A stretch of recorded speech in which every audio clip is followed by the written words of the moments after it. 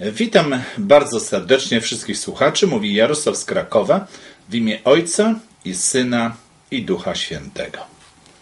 Część na poniedziałek chrzest. Nowy Testament obrazuje język, stosuje język obrazowy w celu przedstawienia znaczenia chrztu. Po pierwsze, chrzest symbolizuje duchową więź z Chrystusem obejmującą uczestniczenie w Jego cierpieniu, śmierci i zmartwychwstaniu, jak również odrzucenie dawnego stylu życia.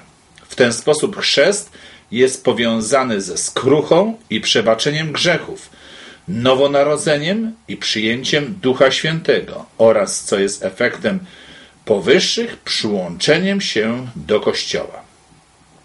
Chrzest symbolizuje więź przymierza i więź duchową z Bogiem przez Chrystusa. Chrzest oznacza to samo, co obrzezanie oznaczało w czasach starotestamentowych.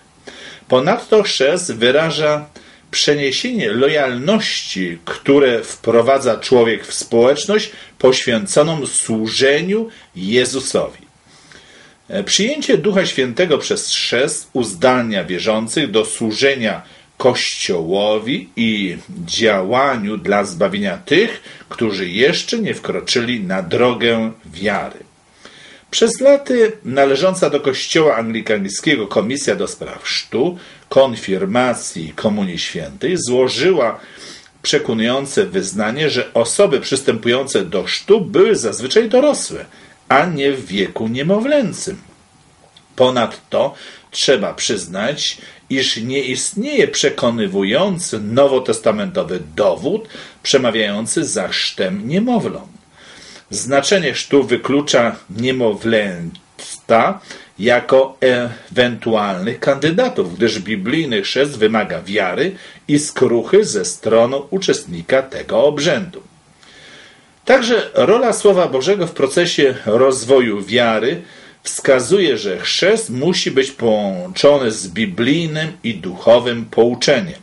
Takie elementy niezbędne, aby kandydaci mogli wydać godne owoce nawrócenia jako dowód swojej więzi z Chrystusem.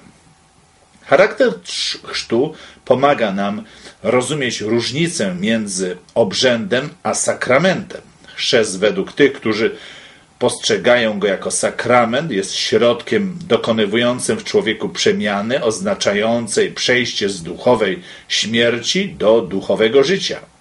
Zgodnie z tym rozumieniem wiek osoby nie gra roli, gdyż jest to zupełnie nadnaturalne wydarzenia. Natomiast chrzest rozumiany jako obrzęd jest jedynie zewnętrznym przejawem czy symbolem wewnętrznej zmiany nadnaturalnego wydarzenia która już nastąpiła w życiu wierzącego dzięki jego doświadczeniu z Jezusem.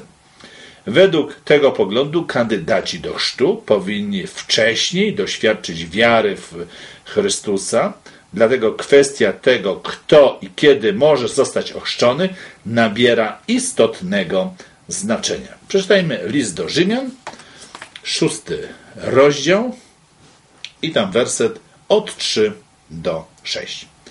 Czyż nie wiecie, że wy, my wszyscy, ochrzczeni w Chrystusa Jezusa, w śmierć Jego zostaliśmy ochrzczeni? Pogrzebani tedy jesteśmy wraz z Nim przez chrzest w śmierć, abyśmy, jak Chrystus wskrzeszony został z martwych przez chwałę Ojca, tak i my nowe życie prowadzili. Bo jeśli wrośliśmy w podobieństwo Jego śmierci, wrośniemy również w podobieństwo Jego zmartwychwstania. Wiedząc też, że nas, nasz stary człowiek został wespół z Nim ukrzyżowany, aby grzeszne ciało zostało unicestwione, byśmy już nadal nie służyli grzechowi. Jeśli zostałeś ochrzczony, pomyśl o tym doświadczeniu. Jeśli rozumiesz, co to znaczy, to dlaczego w pewnym sensie musimy być ochrzczeni każdego dnia? Jak to jest możliwe? Dziękuję bardzo.